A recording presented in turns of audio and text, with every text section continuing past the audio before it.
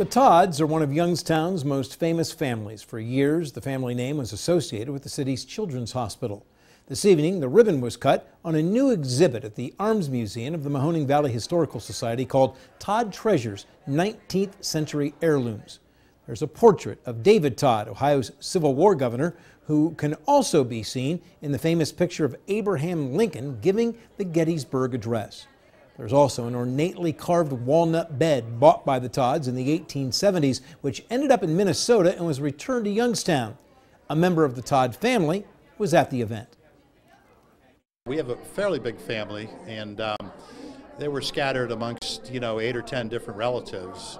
And these folks in, in Minnesota were not relatives, but they knew about the history, uh, you know, of the pieces, and so they contacted Bill Lawson and thought that, you know, it would be a nice donation.